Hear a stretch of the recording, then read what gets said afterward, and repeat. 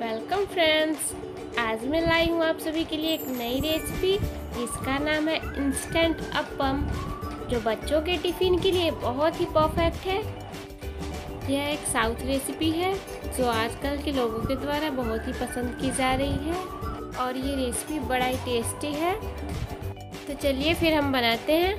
तो इसके लिए हम सबसे पहले चटनी रेडी कर लेते हैं। तो सबसे पहले हमने मूंगफली ले लिया है। अब इसे लो फ्लेम पे हम भुनेंगे।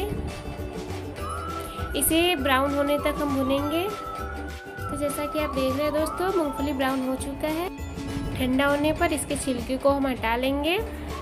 और चटनी के लिए हमने अदरक, मिर्च, मूंगफली और ये बिना छिलके वाली चना लिया है।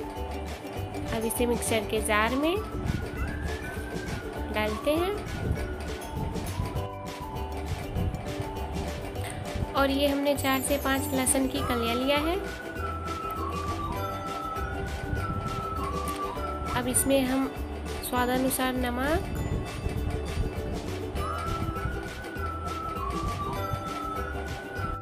अब इसमें थोड़ा पानी ऐड करके इसे हम अच्छे से ग्राइंड कर लेते हैं।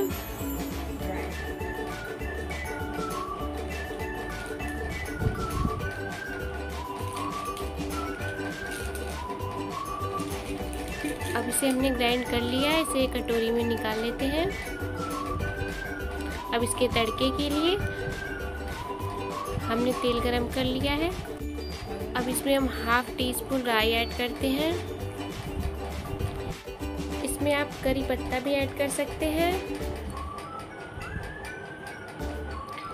दो लाल मिर्च से हमने तड़का दे दिया है।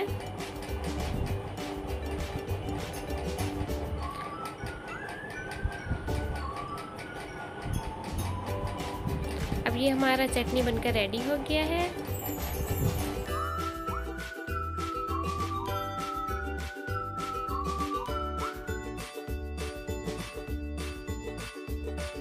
तो चलिए फ्रेंड्स अब हम अपम बनाते हैं।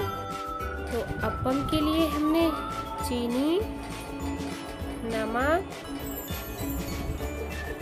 सूजी और ये दही लिया है। इन चार चीज़ों से अब हम अपम बनाएँगे। तो सबसे पहले हमने दो कप सूजी,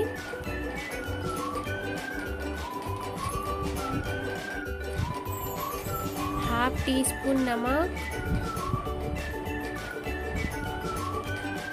वन टी स्पून शुगर,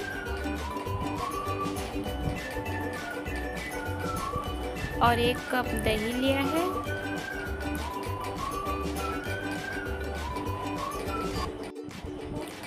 अब इसमें हम हाफ़ कप पानी ऐड करेंगे। पानी ग्राइंड करने के बाद कम या ज़्यादा होने पे हम डाल सकते हैं। अब इसे हम ग्राइंड कर लेंगे।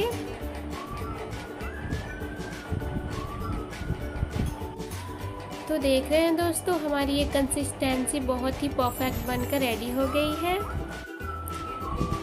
अब इसमें हम half teaspoon Eno add करेंगे। अब इनो को ऐड करने के बाद इसे हम अच्छे से मिक्स कर लेंगे।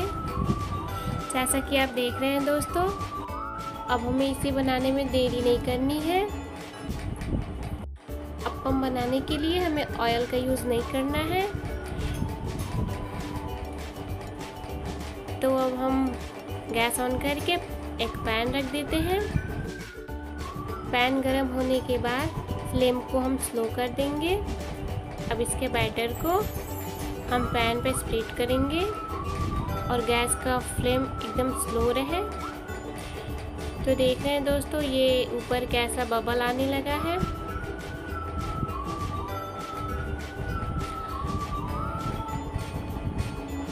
अब इसे हमें दो से तीन मिनट तक लो फ्लेम पे ही छोड़ देना है।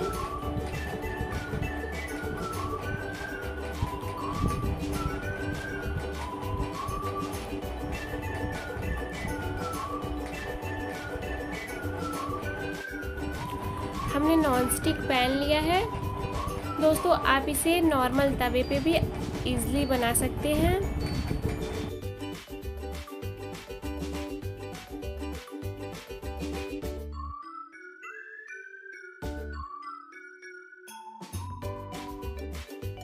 अपम को हमें एक ही साइड सेकना है।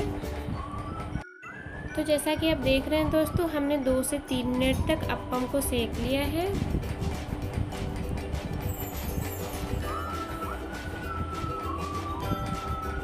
अब इसे किसी प्लेट में निकाल लेते हैं।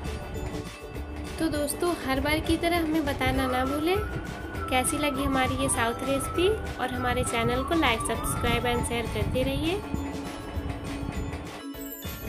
फिर मिलेंगे हम एक नए रेसिपी के साथ। तब तक अपना ख्याल रखिए, स्वस्थ रहिए, मस्त रहिए और खाते रहिए। Bye bye